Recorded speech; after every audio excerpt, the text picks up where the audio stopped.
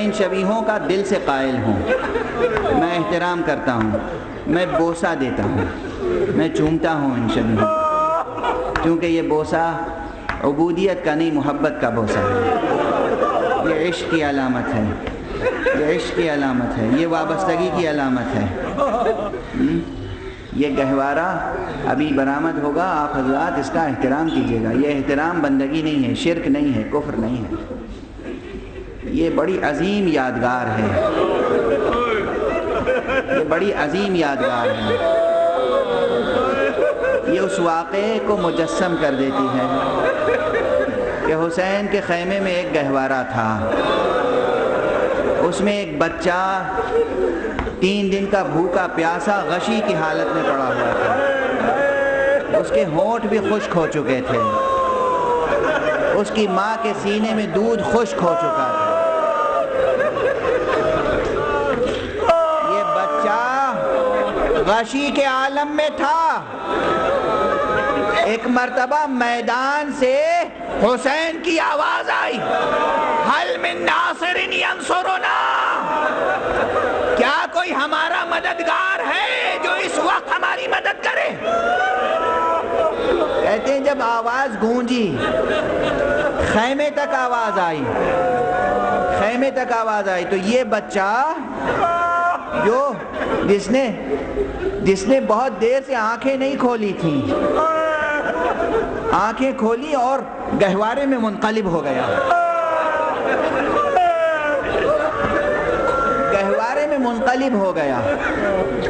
माँ आई फूफी आई बच्चे को उठाया और बच्चे की हालत देखकर गिरिया शुरू किया। ये गिरिए की आवाज़ गोशे मुबारक हुसैन तक पहुँची। हुसैन वापस आए। अभी मैं ज़िंदा हूँ, अभी गिरिए का क्या सबब? बीबियों ने कहा कि जैसे ही आपने आवाज़ इस्तेगासा बुलंद की, वैसे ही ये बच्चा तड़प गया।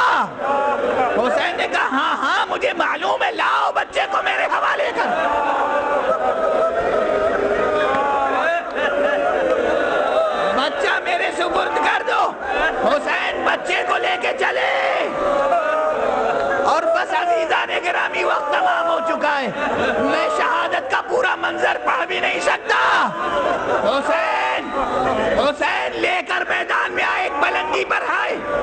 और दामन अबा हटा के बच्चे को सामने पेश किया। अगर तुम्हारी नज़र में मैं गुनाहगार हूँ,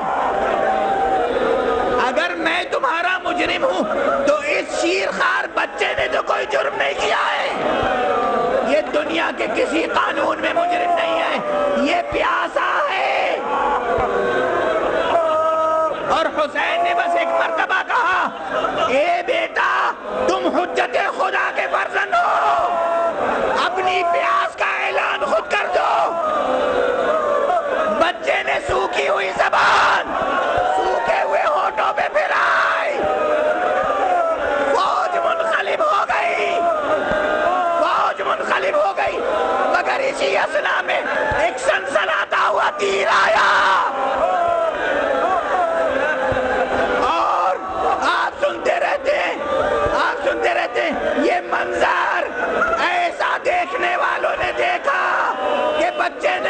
हुमक के तीर अपने गले पे ले लिया। तीर के साथ बच्चा बाप के शाने से पैबंदा हो गया। चंद कतरे लहू के निकले, हुसैन ने हाथों पर लिया। और लेने के बाद अपने चेहरे पर मला, बेटा, मैं इसी तरह तेरे नाना की बारगाह में जाऊँगा रसूलुल्लाह को तेरे खून से खिजाब किया हुआ चेहरा दिखाऊँगा। वाह मोहम्मद।